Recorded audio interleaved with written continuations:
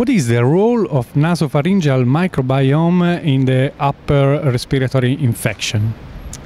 Um, so there are a lot of polymicrobial diseases like otitis media uh, where they play a key role, eh, where the, the, actually the infection starts in the nasopharynx and then it, goes to the the, the um, tube.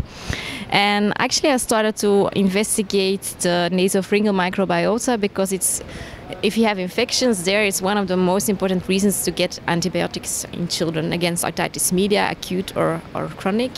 And I'm already studying probiotics and the microbiome for more than 15 years, first on the gut and later on the vaginal microbiota. But I, it, I found it surprising as a mother that there were actually no probiotics targeting the upper respiratory, the nasopharynx. So, um, although you treat them a lot with antibiotics, so I think it's not a good idea. So for children, I think uh, otitis media is one of the most important infections.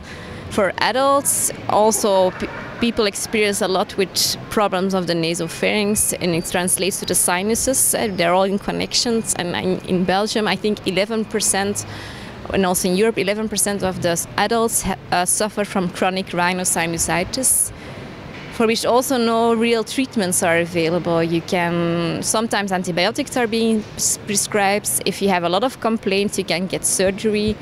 And I believe there's also a huge potential for probiotics because it's also a polymicrobial disease. So it means a lot of different pathogens can be involved and they can cause inflammation, barriers disruption, uh, but it's not a single pathogen that is causing the disease.